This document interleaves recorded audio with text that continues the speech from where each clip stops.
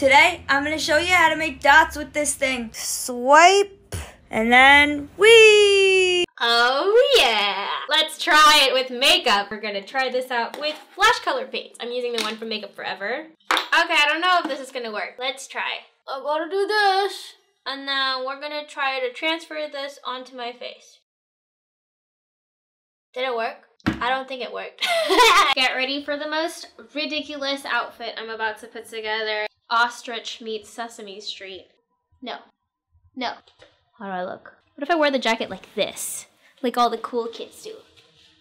This will be the outfit I put on. Now let's see the photos in three, two, one.